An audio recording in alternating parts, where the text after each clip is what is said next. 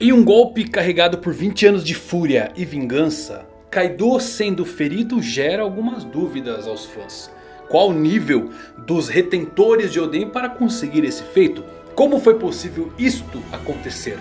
Kaido foi nerfado ou não? Afinal, qual o limite do Ryuou dos samurais de Wano? Mais ainda, como Kaido pode receber esses ataques e mesmo se quebrando por um momento com uma lembrança de Oden, ignorar todos os danos?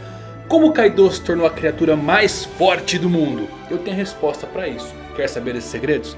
Desliga ou falar nisso agora.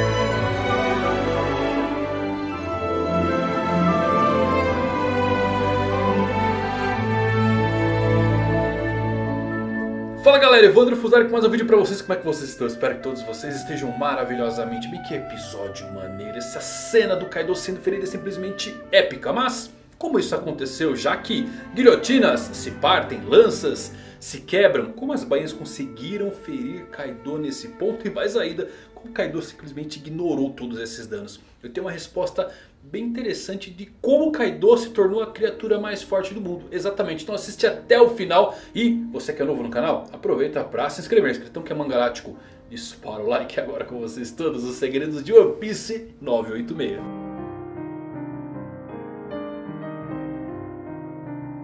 Nosso episódio começa com Kaido se lembrando do dia que foi atingido por Kozuki Oden. E como Oden disse que seu espírito continuaria vivo e que ele não deveria subestimar nunca os seus samurais. Realmente Oden parece ser um fantasma que assombra o Kaido. O que eu acho que reforça muito isso são as passagens de Kaido com Momonosuke. Desde o castelo em chamas do passado até agora na atualidade, Kaido sempre manteve um rosto não de fúria, mas de algo amargo, algo que incomodava ao olhar para Momonosuke. Bom, de volta ao presente temos o ataque carregado por 20 anos, o Tsunade dos Retentores. E a princípio as espadas não poderiam perfurar o corpo de Kaido, mas eles colocam toda a sua alma em seu ataque e finalmente acontece. Suas espadas atravessam a pele dura de Kaido no ar. Kaido fica chocado ao ver que os retentores podem utilizar o mesmo Ryuou que Oden. Então a ferida que Oden deu a ele de repente começa a doer, fazendo Kaido gritar pela primeira vez. Isso é muito curioso, Kaido sente a dor do ferimento feito por Oden e não necessariamente dos golpes desferidos por seus detentores. O fato de Kaido dizer sobre eles possuírem o Ryuou de Oden nos leva a crer que a vontade herdada de abrir as fronteiras vive. O golpe que Kaido levou dos retentores veio carregado com a vontade de Oden e por isso a ferida doeu. E definitivamente esse é o caminho para a vitória. Em diversas mitologias a barriga do dragão curiosamente é o seu ponto fraco. E a cicatriz de Kaido levanta a bandeira do que o realmente incomoda. O X marca o tesouro. Agora eu sei que muitos de vocês meus amigos podem ter achado estranho o golpe ferir Kaido visto que sua pele é dura. Alguns podem usar o termo nerfar mas eu passo longe de apostar nisso. O Ano é famoso por seu Ryuou, assim como os Skypienses eram famosos por seu mantra. Faz sentido que as bainhas, os guerreiros de Wano sejam realmente poderosos. Ashura Doji foi apresentado como uma força de 100 samurais. Oden mesmo teve problemas com o bandido em uma luta que durou uma noite inteira. Com Oda inserindo o Ryuou, precisamos pensar que os retentores e Luffy têm uma chance real de derrotar Kaido e a própria Big Mom. Temos algumas dúvidas ainda a serem respondidas com toda certeza. Os samurais que saltaram 20 anos do tempo, Kinemon, Kiko, Raizo, deveriam ferir Kaido? Bom, mesmo que tenham pulado 20 anos eles ainda conhecem o Haki de armamento avançado, fluxo do Ryo. Só que eu tenho certeza de que eles mal arranhariam normalmente o Kaido. Mas o fantasma de Oden age como quadro de Madre Carmel para Kaido. Temos que levar em conta também não apenas Kaido ser assombrado por Oden em sua mente. Kaido creio que foi tocado também pelas palavras do samurai em seu âmago. E o fato de Yamato, seu filho, seguir a vontade Deoden contribui bastante para isso. Mas temos que levar em conta que ele foi atacado por nove samurais fortes com Haki de armamento. Kaido nem sequer usou o Haki para se defender. Tudo se define pela vontade galera, força de vontade é a principal engrenagem, é o tema central da série de One Piece. É completamente normal e espera-se que as bainhas machuquem Kaido. Primeiro que estão lutando pela vontade de Oden literalmente lutando pelo objetivo de suas vidas. Todo esse poder está por trás desse único ataque. Lembre-se, Haki igual vontade. É a mesma razão pela qual Luffy vence todas as suas lutas. Mesmo que seja mais fraco que seus inimigos, é porque ele mira alto e a sua vontade é inquebrável. E dito isto, apesar de colocarem toda a força de vontade por trás do seu ataque, eles mal arranharam o Kaido. Isso tudo mostra que não há uma escala de poder em One Piece. É tudo sobre como alguém luta, contra quem ele luta e com que ele luta. Shanks perdeu o braço para um rei do mar. Barba Branca foi esfaqueado por Squard. Big Mom começou a sangrar ao ver uma foto quebrada. As nove bainhas juntas são indiscutivelmente uma força que chega próximo de um comandante Yonko. Kaido levar o tiro de nove personagens desse nível alto, desprevenido e não sofrer ferimentos graves é o que devemos debater aqui. Lembre-se, Kaido foi capturado pelos fuzileiros navais e seus rivais por 19 vezes. Lutou contra lendas, Garp, Sengoku, Roger, Rayleigh e ninguém conseguiu matá-lo ou deixar uma cicatriz nele, exceto Kozuki Oden. Quando a Maria tentou executar Kaido, a guilhotina se quebrava. Eles não puderam fazer nada com ele. Mesmo que um almirante colocasse Ryuou na guilhotina ou nas lanças, parece que ainda não seria o suficiente. Porque vimos aqui as espadas com Ryuou, o que podem fazer na pele do Kaido. Passar a sua pele e deixar ferimentos? Sim, mas muito superficiais. Então tem algo a mais para derrotar o Kaido. E a guerra nem começou. Estamos nos aquecimentos. E ainda temos que descobrir a razão pela qual Kaido é a criatura mais forte do mundo. Através dos seus poderes e não da sua aparência dracônica. Aliás, eu tenho algumas ideias de por que Kaido é tão monstruoso que pode envolver desde experimentos, uma raça extinta e claro a minha explicação favorita de como Kaido se tornou tão forte eu vou dar ela para vocês. Ele é como Luffy. Pensem no Chapéu de Palha. Desde o início da sua aventura, vemos como Luffy sempre enfrenta piratas e marinheiros muito mais fortes frente a frente. Ele é um gênio da batalha porque ele lutou contra adversários poderosos. Evidente em sua luta atual contra Katakuri, onde Luffy evoluiu bastante nesse combate. E é a prova de quão longe Luffy chegou, porque ele continua enfrentando oponentes mais fortes. Luffy é uma espécie de força bruta combinada com experiência. Claro, não significa que sempre ele vai sair vitorioso. Por exemplo, ele deu tudo de si naquela luta breve contra o Kiji, mas foi completamente anulado por um simples abraço gélido. Magellan, ou Magalhães para os íntimos, colocou Luffy de joelhos de maneira dolorosa. E claro, contra Kaido caiu apenas para um hit. Então quando você olha a introdução do Kaido com todas as suas derrotas e capturas. De alguma forma isto faz me sentir que estou observando o futuro do Luffy. E como será narrado todos os seus feitos.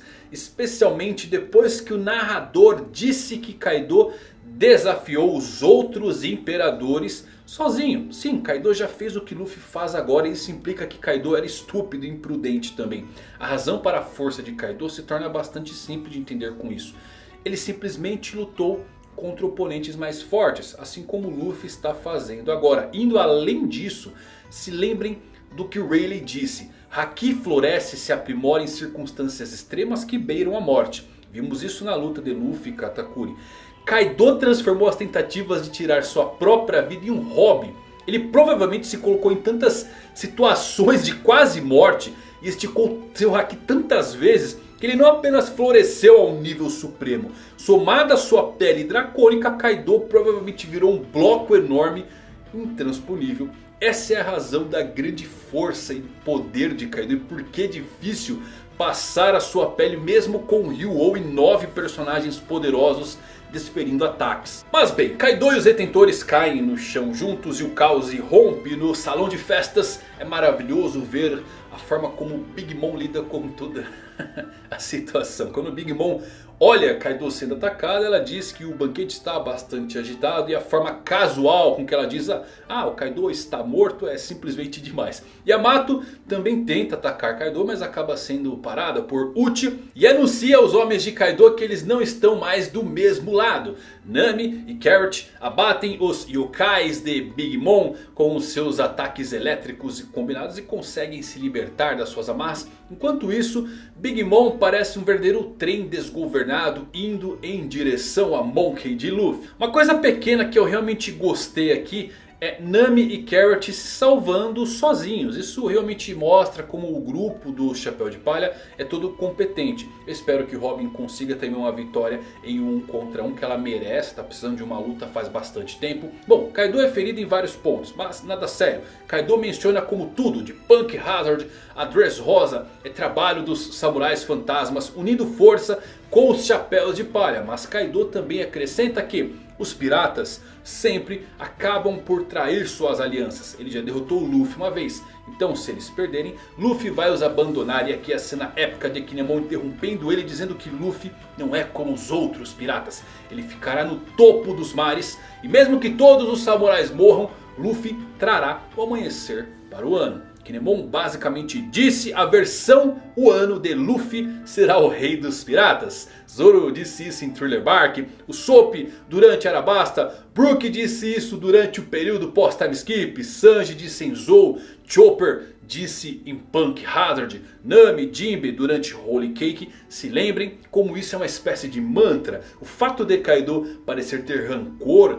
quando diz sobre traições também pode ser provavelmente porque ele foi abandonado lá em God Valley ou aconteceu algo maior nos Rocks. O que faria sentido como uma das vezes em que ele acabou sendo capturado e quem sabe a Big Mom veio ajudar de alguma forma, talvez essa seja a grande dívida que ela vive falando que Kaido deve a ela. Big Mom aparece perto de Luffy pergunta por que ele veio aqui. Se está aqui para derrubar Kaido e Luffy responde que não. Ele está aqui para derrubá-los todos. Kaido, Big Mom, Orochi todos os seus subordinados. Esta é uma guerra total. Essa cena é fantástica. Os inimigos finais de Luffy parece que vão ser todos. A maior guerra de todas foi declarada. E Luffy acaba de alcançar o patamar de maior pirata dos mares. Não mais forte ainda. Mas aquele que vai realmente encarar as duas maiores forças combinadas dos mares sem hesitar. O caminho para ser rei dos piratas acaba de se tornar mais perigoso. Mas claro, também se tornou mais curto.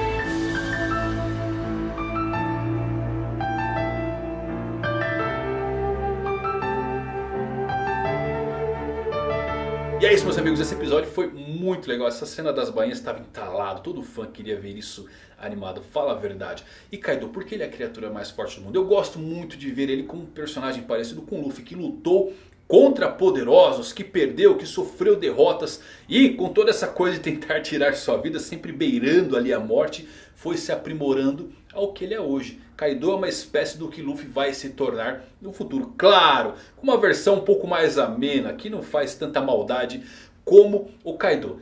Temos ainda algumas coisas aí meio perdidas como experimentos que podem ter acontecido realmente com Kaido. Se lembrem da fruta de Momonosuke. E talvez aí algo relacionado a uma raça perdida e extinta. Bom, é isso. Espero que vocês tenham gostado desse vídeo. Se você gostou, então deixe o like meus amigos. Até a próxima. Valeu por assistirem. Fui.